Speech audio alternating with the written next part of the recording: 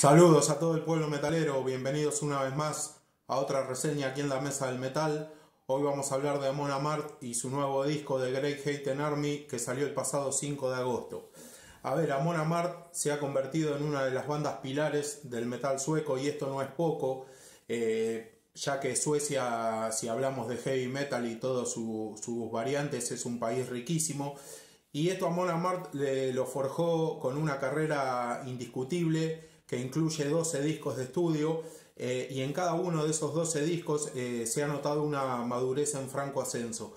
Así llegamos a esta última placa llamada, como decía, The Great Hate Army, que arranca con el tema Get in the Ring. Eh, por ahí no sorprendió tanto, el tema es un tema fuerte, es un buen tema, pero digo que no sorprendió tanto porque fue uno de los adelantos y ya lo teníamos escuchado un par de veces. Lo mismo pasa con el tema título. El tema título en realidad eh, para mí es un poco más interesante ya que eh, es un tema bien pesado con un ritmo un poco más lento pero con mucha fuerza.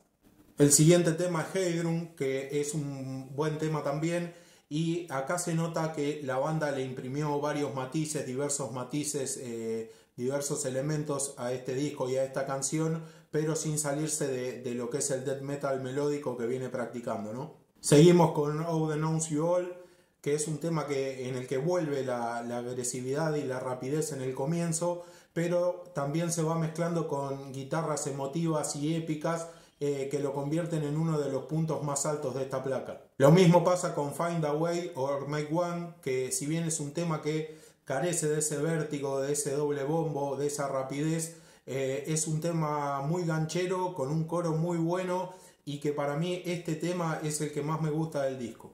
Down of Norsemen es una clara muestra de la impecable voz de Johan Hegg, eh, mantiene un caudal vocal impecable con el correr del tiempo, parece que los años no pasaran para Hegg, que la rompe verdaderamente con esas voces culturales y esos gritos desgarradores. Y acá llega otro de los temazos que tiene este disco, estamos hablando de Saxons and Vikings, que cuenta con, justamente con la participación de Biff Bifford eh, de la banda Saxon en un ida y vuelta tremendo con Johan Hegg y unos riffs y, y unos solos de guitarra que coquetean con el heavy metal tradicional que son estupendos. La verdad, eh, no puedo ser muy objetivo con esta canción, así que vamos a seguir eh, con, con, el siguiente tema que es Skull Rise With Me. Y acá podemos apreciar nuevamente que si bien la banda le agregó elementos frescos, elementos nuevos, elementos un poco más modernos, tanto a esta canción como al disco en general, eh, la banda no tiene pensado moverse de, ese camino del death metal melódico que viene practicando desde los inicios de su carrera y que tantos frutos les ha dado, ¿no? El final es para The Serpent Trail, eh, que es un tema muy pesado, oscuro eh, y que mezcla partes habladas con los característicos gritos guturales de Johan Hegg, que la verdad le quedan muy bien a la canción y redondea un final tremendo para un gran disco un disco corto, eh, nueve canciones, 43 minutos, lo que nos permite modificar ese, dicho que, dice lo breve y bueno, dos veces bueno. Bueno, en este caso sería lo breve y sueco, dos veces bueno. Eh, nada más, esto fue un breve comentario a modo de reseña para compartir con todos ustedes.